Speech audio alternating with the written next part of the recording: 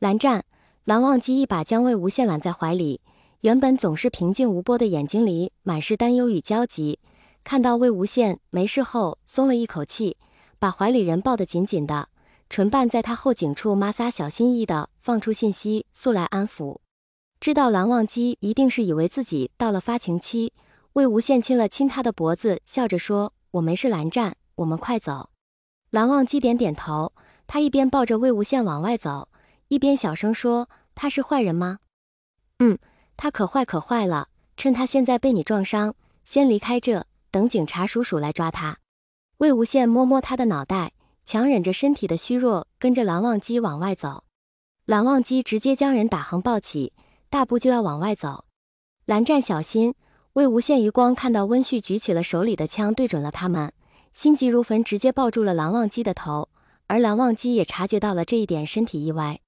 魏无羡见那子弹似乎打进了蓝忘机的脑袋里，两人一同摔倒在地。他脑子嗡嗡作响，一时间什么也听不到了。伸手一摸脸，才发觉自己已经泪流满面。无羡，魏无羡，你快松手！医生来了！蓝曦臣使劲摇晃着，仿佛已经化成石头的魏无羡，见被魏无羡用扔出去的扫帚打晕的温煦已经被带走，而自己的弟弟被魏无羡死死抱在怀里，生死不知，急红了眼，喝道：“忘机还没死！无羡，你放开他！没死！蓝湛他没死！”魏无羡这才如梦方醒，见到面前穿着白大褂、戴口罩的医生，就像是抓到了救命的稻草。可是蓝湛他被子弹打进脑袋里了。你们能救吗？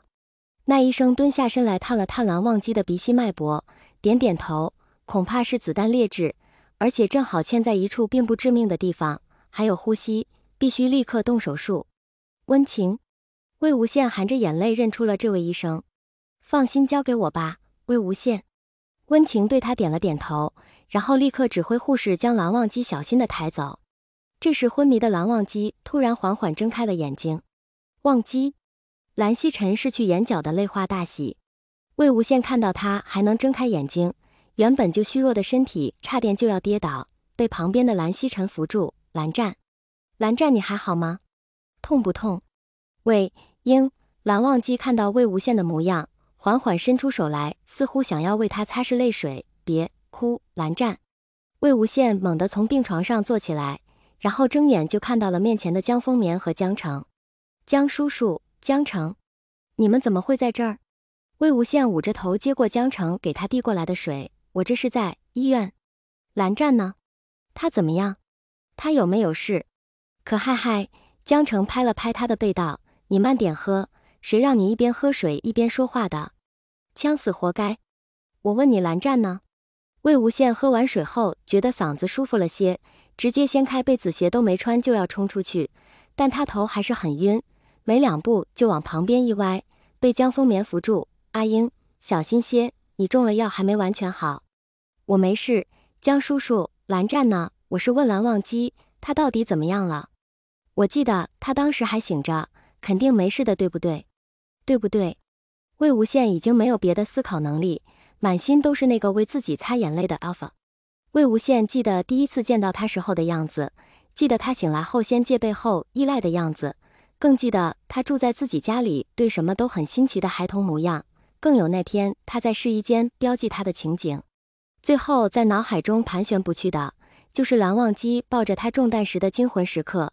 魏无羡摸了摸自己的脸，仿佛还能感觉到温热的血滴在自己脸颊时的温度。江澄和江丰眠原本还想拦他，可这么一看，却发现魏无羡敛着眼眸，两行晶莹从眼眶中缓缓落下。顿时都惊讶的说不出话来，尤其是江城，在江城心中的魏无羡，永远是那么有活力、乐观积极，喜欢做乱七八糟的事，可每天都是开心的笑着。平时跟自己斗嘴，也都把自己气个半死。虽然是个 Omega，但各项能力都不输自己一个 Alpha。他从未想过，天不怕的不怕的魏无羡，还会有这样为别人崩溃伤心的地步。蓝二少爷在十楼的急诊手术室，还在抢救。江澄叹了口气，道：“谢了。”魏无羡拍了下江澄的肩膀，直接夺门而出。跑动时还踉跄了一下，差点跌倒，看得两人心惊胆战。由于等电梯太慢，魏无羡一口气从三楼爬到了十楼，差点撞上了金光瑶，被他扶住。魏无羡，你怎么？你别急，我先扶你坐下。金光瑶，蓝湛，蓝湛，他。魏无羡抓着他的胳膊，满怀希望的看着他。蓝湛没事吧？手术顺不顺利？金光瑶赶紧把魏无羡扶到手术室前，蓝曦臣也一直等在那里。现在已经半夜了，手术进行了快六七个小时，而蓝曦臣也等了很久。见魏无羡过来后，勉强挤出一个笑容来：“魏先生，你醒了。”蓝曦臣担忧地坐在他身边：“身体怎么样？”医生说：“你中的药只是令你虚弱，并引发你的发情期，让抑制剂的效用也暂时失效。现在时效过了。”抑制剂也就起作用了，现在你应该无事了吧？魏无羡摇摇头，蓝总，我没事，我只是担心蓝湛，他是为了我才……蓝曦臣打断他，魏先生不需如此想。忘机之前就一直在追查温煦的下落，那人是温若寒的儿子，什么事都能做得出来。若是受伤的是魏先生你，那忘机定也会如此自责的。想到蓝忘机那时连自己不小心摔下床都很抱歉的模样。魏无羡这才微微点了下头，嗯，我知道了，蓝总。金光瑶也道，现在手术情况还算顺利。温情医生与你是认识的，他的本事你应该很了解。他虽然年轻，但早已是医学博士，由他和另一位德高望重的教授共同主刀，我想忘机定会无事。魏无羡想起温情，忙道：“是啊，温情他之前就是给蓝湛做了检查，对蓝湛的情况最清楚了。”应该没事的，现在手术还在进行中，没有消息就是最大的好消息了。蓝曦臣眼中已经熬出了红血丝，他拍拍魏无羡的肩，勉强笑道：“是这个理，我们就等在外面吧。”金光瑶看了看魏无羡现在魂不守舍的状况，轻声说：“二哥，要不先让魏先生去休息吧？我看他身上也有几处擦伤，又中了药，万一有个什么，忘机醒过来也会担心的。”魏无羡猛地摇头拒绝，他看着手术室门上亮着的灯，喃喃道：“蓝湛现在心智才六岁，他会不会很害怕？等他醒过来，一定很想见我。我要守着，争取他醒过来的时候就能看见我。”蓝曦臣深深地看着这个今日才见到的 Omega，叹了口气：“好吧，阿瑶，不如我们去买些吃的。魏先生，无限他一定什么也没吃，可不能这么干等着。”金光瑶道：“我让助理去买。”我见云梦的那两位还在，我先去招待一下他们。这座医院兰陵集团拥有大部分的股份，算是他们的产业，所以金光瑶算是半个主人。如今兰陵集团主要还是由少东家金子轩做主，他是云梦集团的女婿。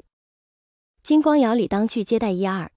金光瑶一走，蓝曦臣与魏无羡一起坐在门口的座椅上等着。蓝曦臣怕自己的信息素会让魏无羡不舒服，所以特意稍稍离远了一些。听说无羡你是设计师，我们云深这次要送两位设计师去 F 国 Fantasy 学院深造，不知道无限你有没有兴趣？蓝曦臣见魏无羡这么低落，就想找点话说。